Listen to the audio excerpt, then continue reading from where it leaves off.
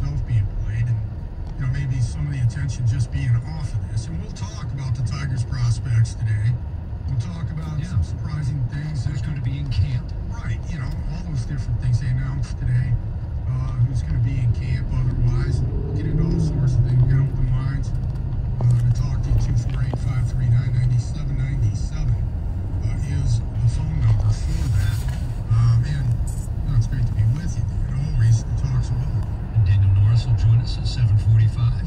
Right. And, you know, we'll ask him a question about it as a player, how he feels about it. And we'll talk about. Uh, And, you know, for those who are just tuning in, I know that been talking about it throughout the afternoon into the evening, the, the latest allegations involving your buzzer system. The reason that would make sense, I'm not saying I, I have a feeling about whether the truth of it yet or not, but it makes sense because this year was the year that Major League Baseball had somebody not just down in the dugout or between the dugout and the video room on the steps, wherever it might be, every dugout's different.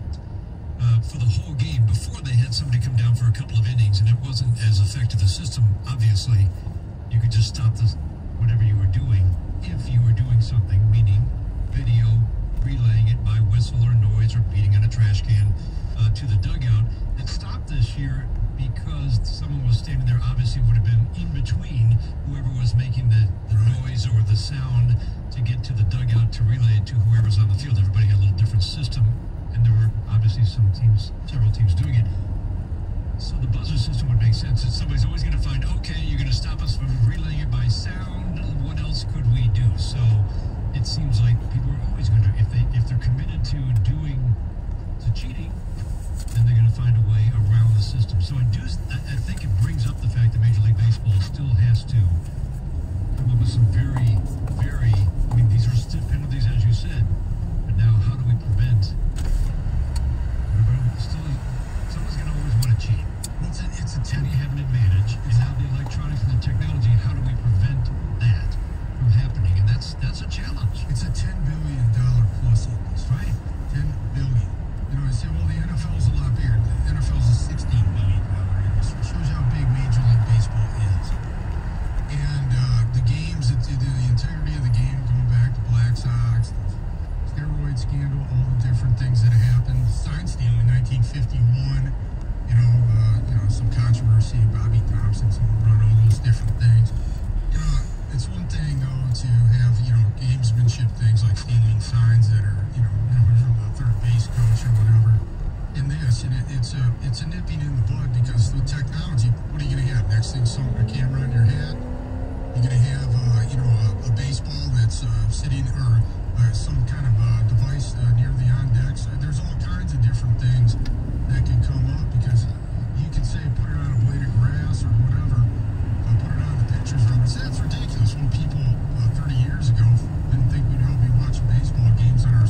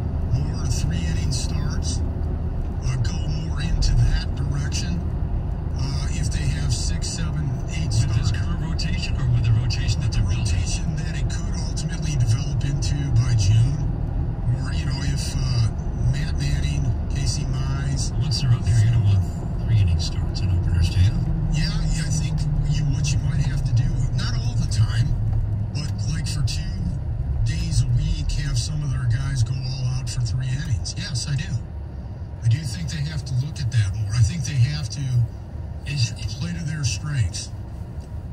They, they got to get, to get more, to get more guys, more innings. In other words, spread the innings around, or to break these guys into the major leagues. Which way are you looking at? Both. Okay. First of all, if if Matt Manning comes up and he throws five innings and gives up three hits and strikes out eight, you want to get him out of that game. All right. You don't want him pitching the sixth. You don't want him going into the seventh. Why? Because you, you, you how many pitches is he going to throw? You want to break him in easy. You don't want to put too much wear and tear on his arm, and you don't want to waste time right now until you in build. You want to build him up so when you have a really good team, that's when you start to use him like that. You have to be smart. It's the same with Casey Mize. He's already broken down the last two years. So you got to be smart that way. Secondly, if you have six, seven, eight starters like Norris, when Norris pitched three innings at a time, he was better. Though, you know, he was trying to pace himself, whatever he was doing.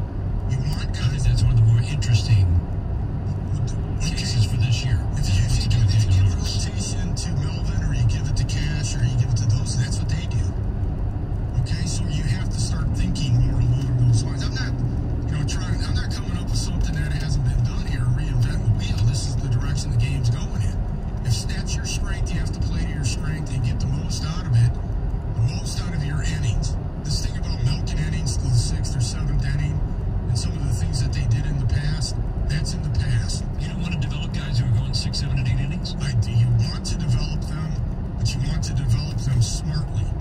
You know, pitch count counts,